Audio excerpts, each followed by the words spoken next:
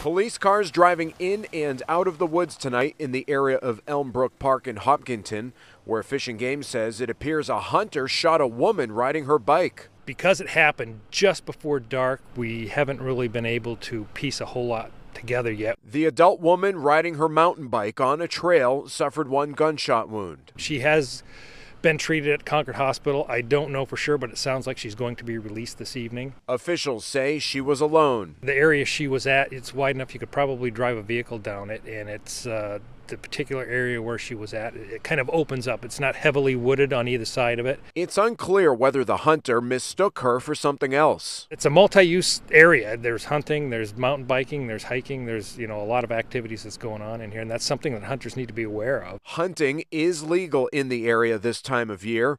Investigators have spoken to the hunter, but right now it's not known if he'll face any charges. The hunters, you know, you're you're not the only ones in the woods, and you have to positively identify your target before you pull the trigger. Because once you pull the trigger, you can't take that bullet back. The scene is less than a mile into the woods behind me here. Police will watch over it tonight and then pick up the investigation first thing in the morning. Reporting live in Hopkinton, Mike Cronin, WMUR News 9.